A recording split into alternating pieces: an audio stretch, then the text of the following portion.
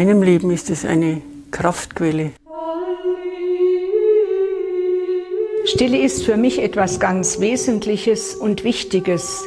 Es ist für mich so ein innerer Raum, in dem ich gelassen werde, in dem ich Kraft schöpfe, um in meinem klösterlichen Alltag und in den Aufgaben, die ich habe, bestehen und stehen zu können.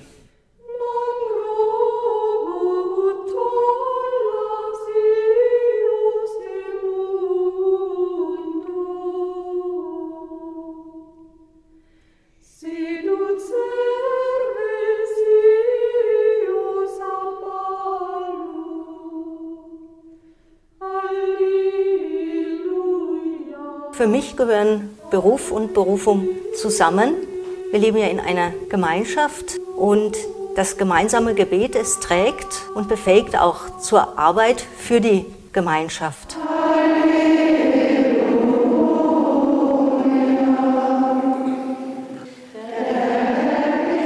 Kurz zusammengefasst kann man über die franziskanische Spiritualität unter anderem sagen, sie besteht aus einem einfachen Leben, aus Respekt und Achtung vor allem, was Gott geschaffen hat und in einem schwesterlichen Miteinander.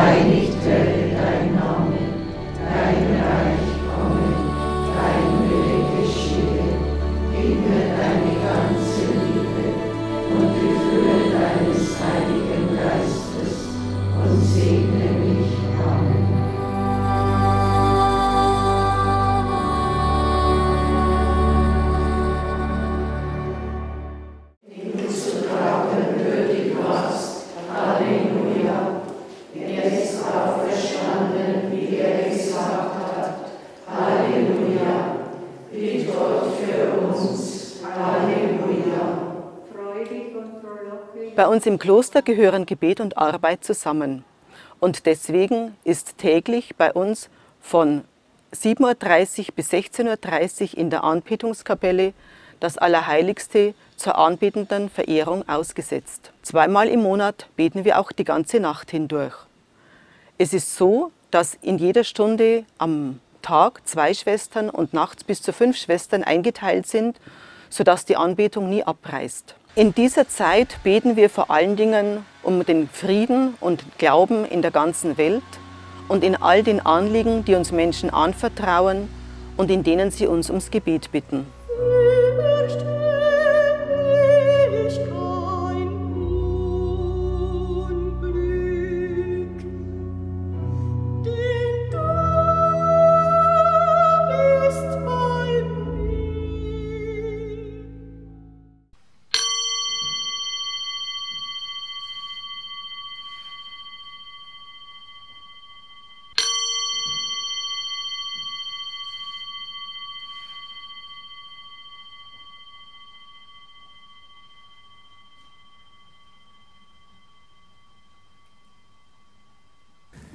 Die Meditation spielt für mich eine ganz große Rolle.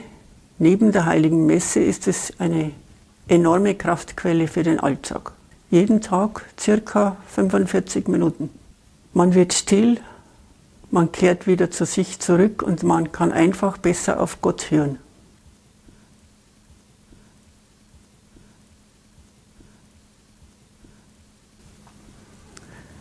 Stille bedeutet für mich, das Äußere abzulegen, so gut es geht. Es geht nicht immer. Und sich zu konzentrieren, wie jetzt bei der Meditation, auf den Text der Bibel. Meditation ist wie eine Ankunft. Da wird man erfüllt, und das ist ja das Ziel, was wir wollen, erfüllt sein von Gott.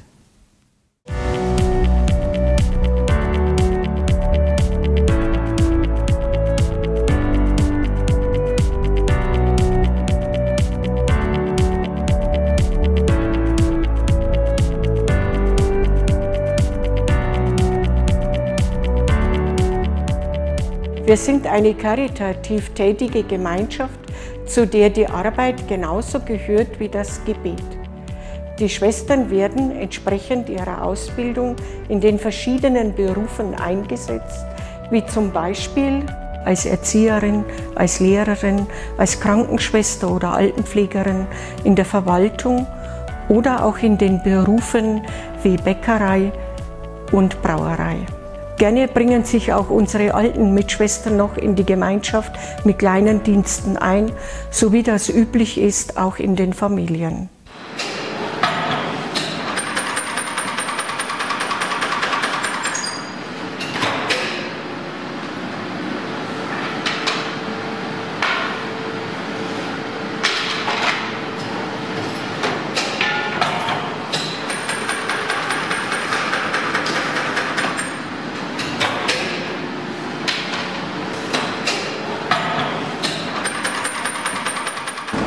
Erstens ist das Brot so ein wichtiges Nahrungsmittel und Brot kann man immer essen. Da, wird man, da kann man sich nicht abessen. Und das habe ich schon im Elternhaus kennengelernt, das Brotbacken. Da hat mir meine Mutter das Brotbacken gelernt. Wir haben auch eine Mühle gehabt und da bin ich mit dem schon so aufgewachsen.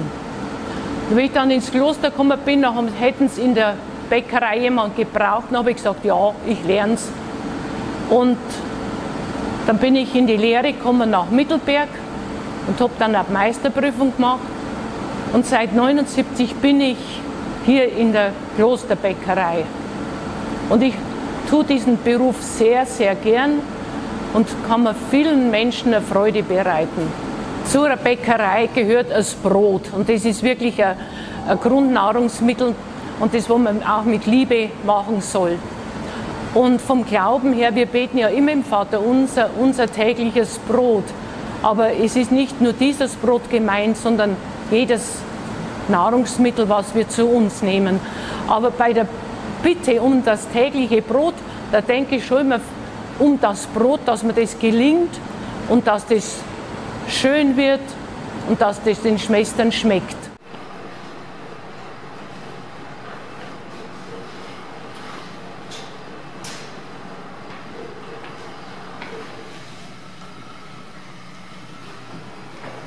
War 30 Jahre im Kindergarten tätig.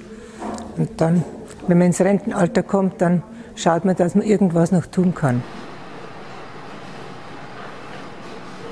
Man kommt da zurück ins Mutterhaus sozusagen und da, solange man kann, möchte man auch irgendwas tun. Und das geht gerade noch. Vormittags bin ich beschäftigt. Nachmittag kann ich spazieren gehen oder lesen oder irgendwas, was mir Freude macht. Saubere Wäsche ist sehr wichtig. Es wird jeden Tag gewaschen. Und die Schwestern haben auf dem Stockwerk, wo sie wohnen, einen Wäschewagen und da können sie dreimal in der Woche die Wäsche reintun. Dann kommt es runter, wird aussortiert und in die Waschmaschine, in die drei, drei kleine Waschmaschinen sind da und zwei große. Es muss halt alles ganz genau zusammengelegt werden, richtig sortiert.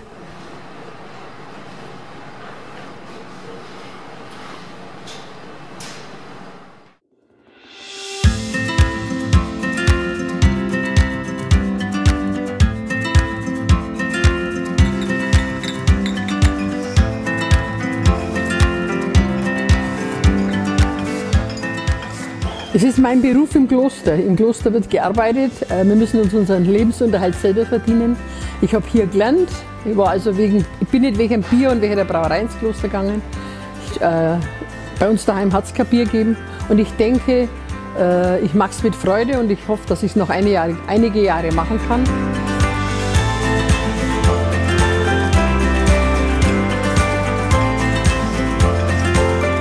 Bier hat für mich einen sehr hohen Stellenwert. Ich habe, äh, bevor ich in die Brauerei kam, mit Bier nichts zu tun gehabt. Und äh, wenn man es gern macht, dann lebt man sich überall leichter, im Kloster oder in einem anderen Betrieb. Wenn man schon mit, mit Missmut äh, auf die Arbeit geht, dann denke ich, äh, kann es nichts werden.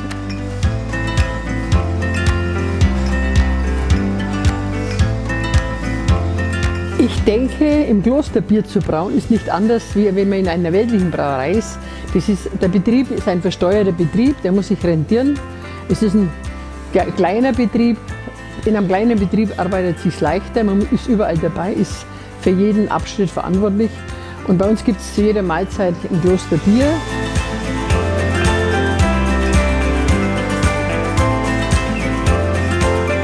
Bier ist das alkoholärmste Getränk unter den alkoholischen Getränken. Und wenn jemand, äh, wenn, ja, ich, wenn ich ein Bier trinke, dann heißt die Schwester trinkt. Wenn aber jemand ein gutes Glas Rotwein trinkt, dann darf ich eine Maß Bier trinken, dann habe ich noch weniger Alkohol wie der Weintrinker. Äh, ich denke nur, dass Wein hoffähig ist und das Bier gehört zum Blaumann. Und das ist nicht in Ordnung, weil Bier auch ein Kulturgut ist.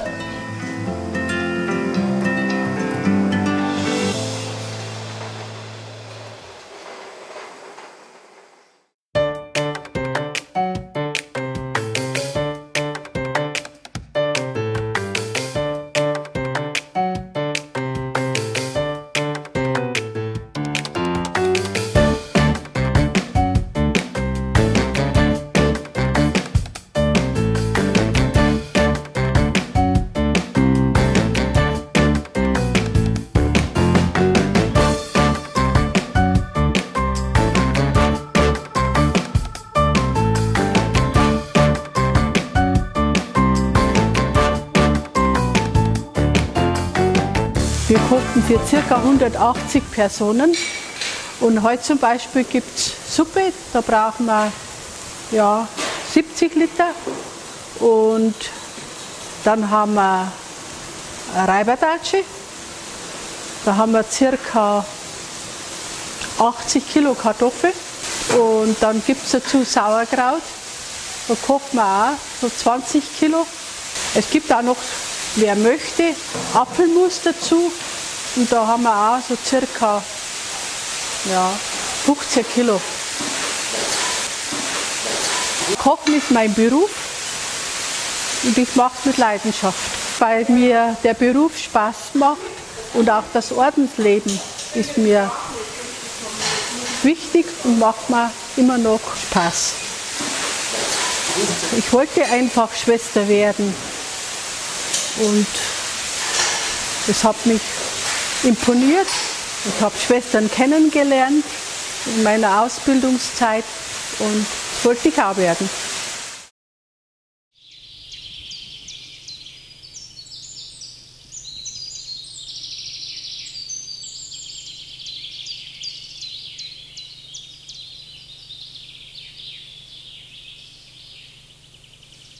Das Mittagsgebet oder die Mittagshore, wie es bei uns im Kloster heißt, ist eine bewusste Unterbrechung im Arbeitsalltag. Natürlich fällt es nicht leicht, beim Glockenschlag pünktlich die angefangene Arbeit stehen und liegen zu lassen, aber damit soll uns täglich neu bewusst werden, dass Gott der Mittelpunkt unseres Lebens ist und alles andere ihm untergeordnet.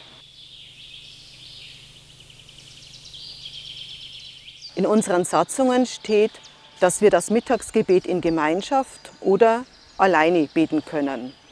Und wir haben es hier so geregelt, dass wir sonntags das Gebet miteinander beten und werktags kann es jede Schwester so gestalten, wie es für sie passt und wie sie es will. Das Mittagsgebet gibt uns die Gelegenheit, zurückzuschauen auf die vergangene Hälfte des Tages und vorauszuschauen, was der Tag noch für uns bereithält.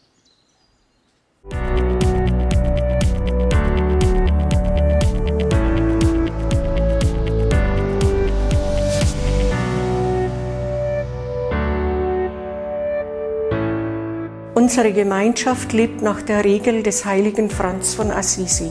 Ich möchte versuchen, anhand von zwei Beispielen Ihnen etwas von dieser Spiritualität nahezubringen. Franziskus wollte Christus immer ähnlicher werden und er lebte wie er, arm und besitzlos. Franziskus bezeichnet die Armut sogar als seine Braut. Für unsere franziskanische Gemeinschaft bedeutet dies, dass sich jede Schwester verpflichtet und auch die Gemeinschaft selbst, arm und bescheiden zu leben.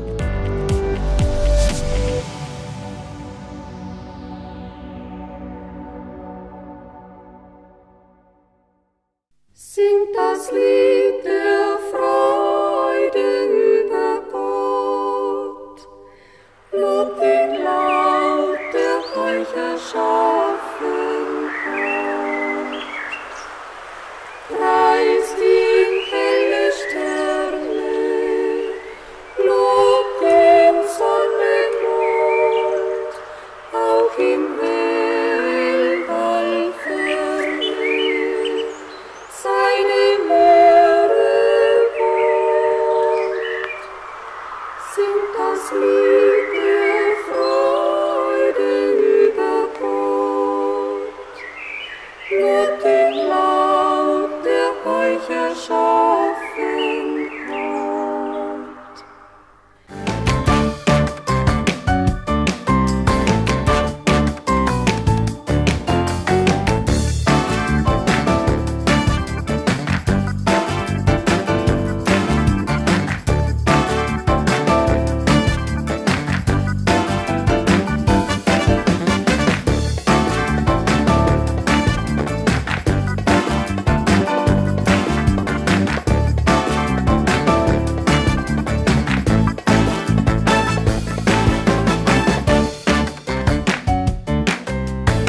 Wir haben 146 Schwestern.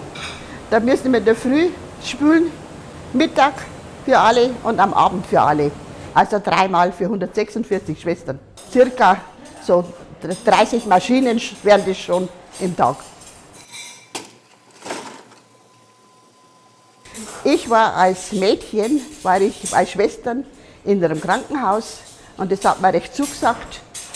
Und dann haben wir entschlossen, also ich möchte das auch machen. Und das hat sich auch bewährt. Ich werde es wieder machen. Ich kann mir da jetzt nichts anderes vorstellen, wie jetzt da im Speisesaal. Also das mache ich recht gern und darum klappt es auch gut.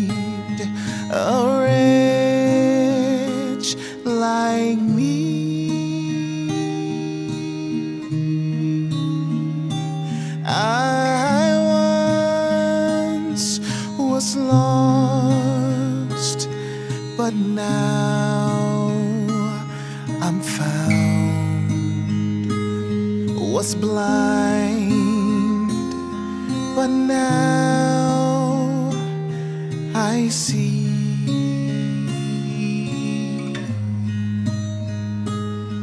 'Twas grace that taught my heart to fear, and grace my fears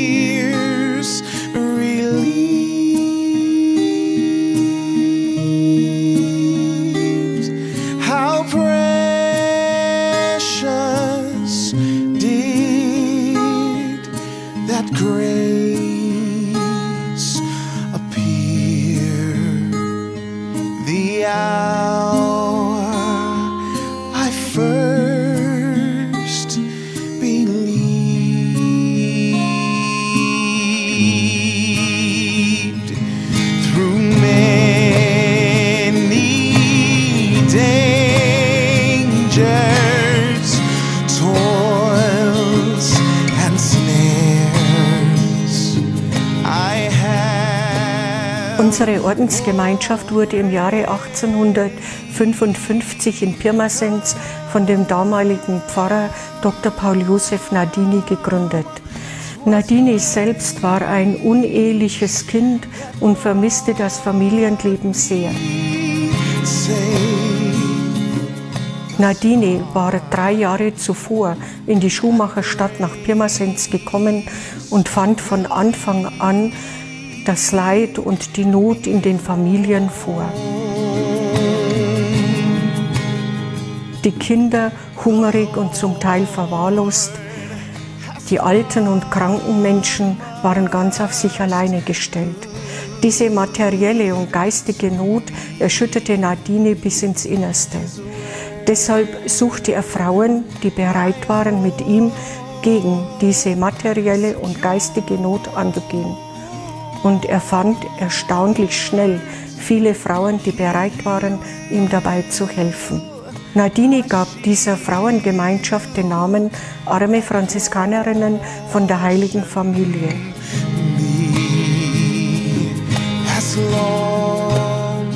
Bereits 14 Jahre später zogen die Schwestern von Pirmasens nach Mallersdorf um. Seitdem sind wir bekannt als Mallersdorfer Schwestern in der Bevölkerung. This flesh and heart. Um eventuell Ängste oder sowas zu erkennen? Ja, Elena. Ähm, dass man nichts bewertet in der Praxisweise? Sehr wichtig, bitte alle hören, keine Wertungen vornehmen. Dass man die Fantasiereise. Nardini war es immer ganz besonders wichtig, viel für die Bildung von Frauen zu tun, denn im 19. Jahrhundert hatten gerade Frauen und Mädchen besonders wenig Chance, einen Beruf erlernen zu können. Und er wollte dann mit natürlich auch hineinwirken in die Familien, sie zu stützen und zu stärken durch gebildete Frauen. Und wir arbeiten hoffentlich auch in seiner Tradition heute in dieser Richtung weiter, indem wir eine hochwertige Ausbildung für Erzieherinnen ermöglichen.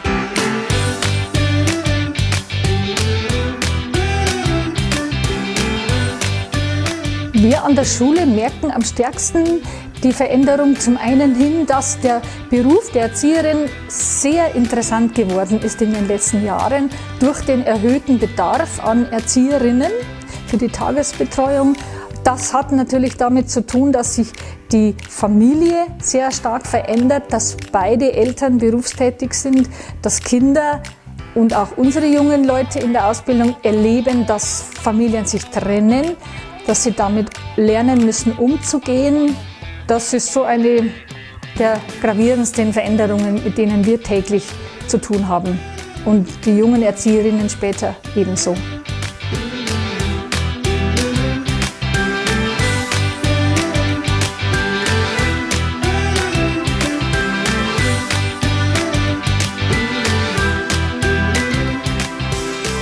Ich persönlich mag meine Arbeit sehr gerne. Ich ähm, gehe gerne mit den jungen Leuten um. Und es ist schön zu sehen, wie sie sich äh, entfalten, wie sie stärker werden, mutiger werden in der Ausbildung. Junge Erwachsene wirklich im, im wahrsten Sinne des Wortes werden. Und das Umgehen mit den jungen Leuten halte ich für eine sehr wichtige, unverzichtbare Aufgabe, auch für mich als Ordensfrau. Den Studierenden Lebensfreundlichkeit vermittelt. Das möchte ich gerne am Schluss sagen können.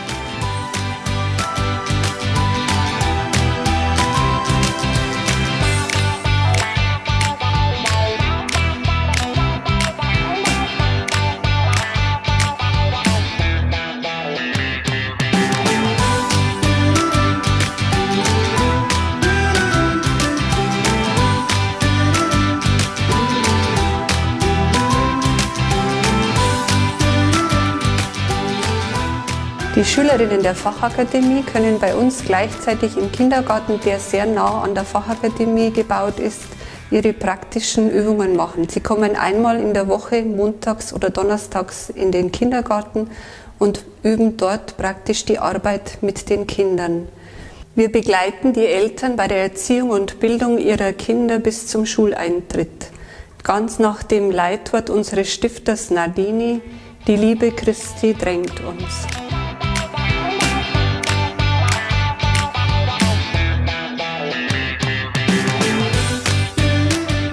Ja, wir hatten eine sehr unbeschwerte Kindheit auf dem Land. Also ich bin auf einem Bauernhof aufgewachsen, kleine Landwirtschaft. Der Vater musste dazu verdienen, weil wir sonst nicht leben hätten können. Aber ich bin mit sechs Geschwistern aufgewachsen, mit bei den Großeltern.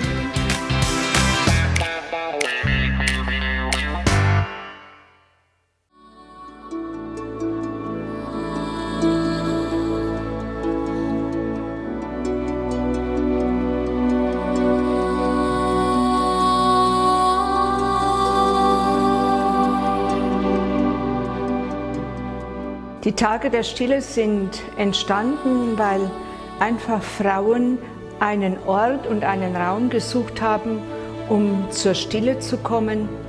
Auch einen Ort, wo sie vielleicht ihrem eigenen Leben wieder nachspüren können. Manchmal auch wieder, um eine vertiefte Gottesbeziehung zu bekommen. Manche wollen einfach zur Ruhe kommen, um wieder für sich da zu sein.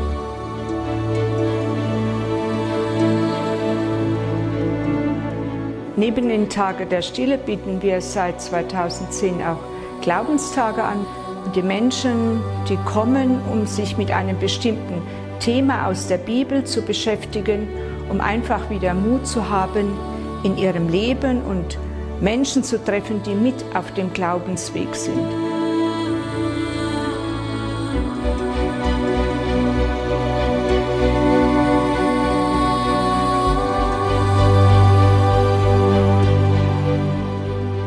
Bei uns im Kloster Mallersdorf noch weitere Angebote, zum Beispiel Familienwochenenden, die gern besucht werden, wo die Familien, auch Alleinerziehende, miteinander Zeit verbringen und gerne hier sind.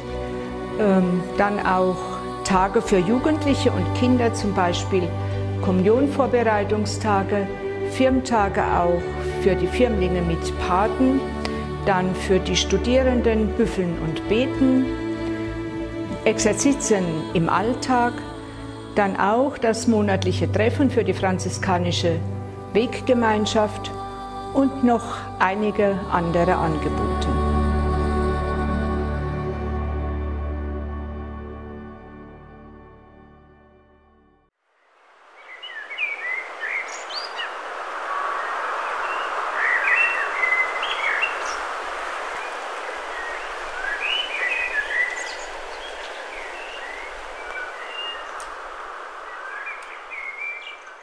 Als ich ins Kloster gekommen bin und dann war die Frage, ja, Sie brauchen jemanden, der mal die Verwaltung übernimmt. Dann war es eigentlich sehr schnell klar, dass es, wenn dann auch ein Studium sein sollte, also wirklich ein qualifizierter Abschluss. Deshalb habe ich dann äh, schon im Noviziat angefangen, äh, Wirtschaftswissenschaften zu studieren. Und es ist genau wie draußen, es ist ganz wichtig, dass man eine fundierte und qualifizierte Ausbildung hat.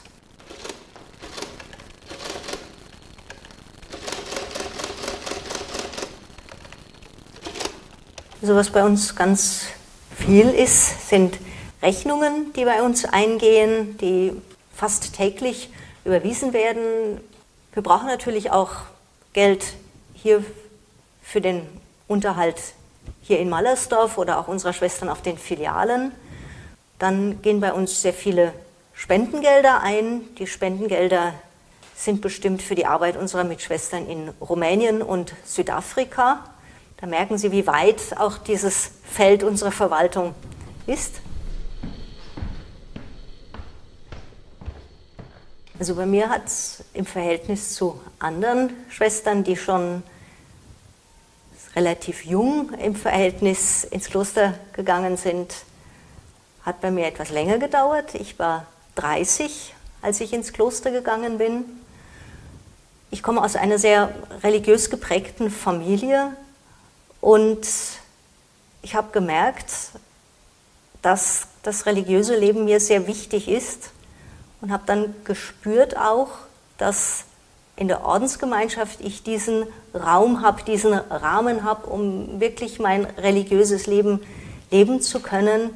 Und gerade auch im, in Verbindung mit dem Beruf, denn als tätige Ordensgemeinschaft ist ja der Beruf auch etwas wichtig und gerade diese Verknüpfung zwischen religiösem Leben und Berufsleben ist für mich sehr wichtig und ich spüre auch, dass das mein Weg nach wie vor ist.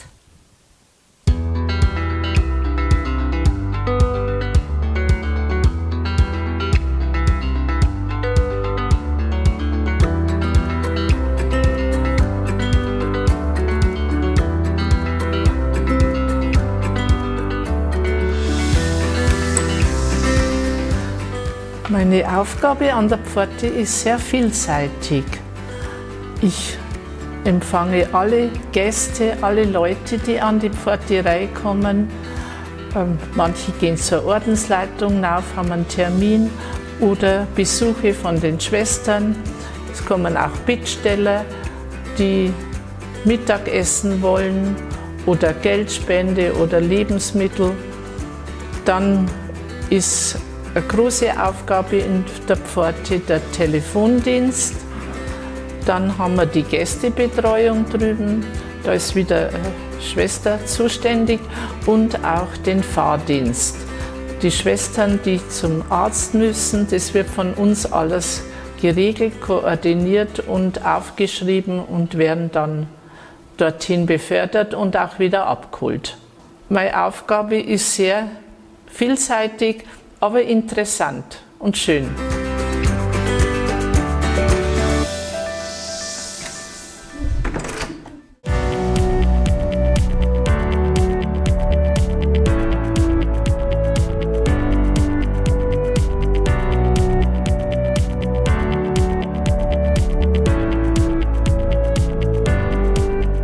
Franziskus bezeichnet alles, was Gott geschaffen hat, als Bruder und Schwester.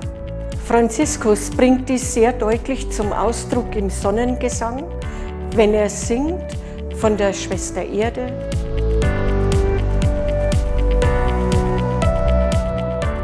vom Bruder Mond, vom Bruder Feuer. Und Schwester Wasser.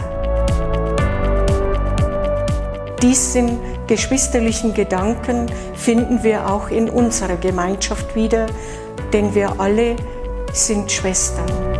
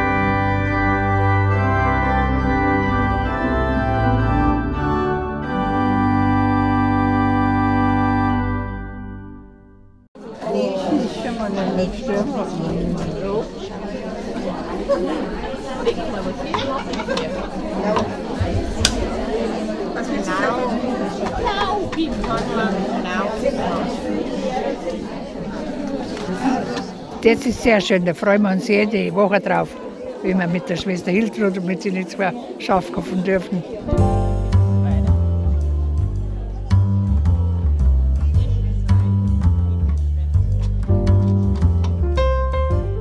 Ich habe schon als kleines Mädchen gelernt, bei meinem Papa und meine großen Brüder. Bei den dritten, vierten haben wir braucht und habe sie machen müssen.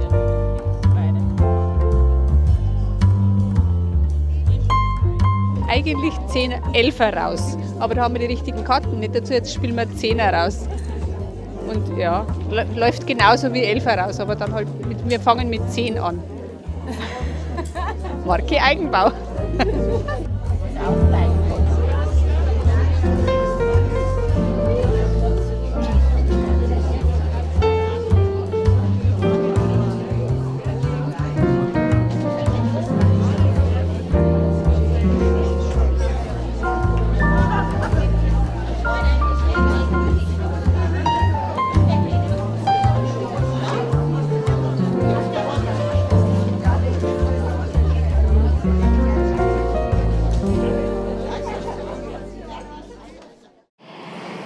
Eine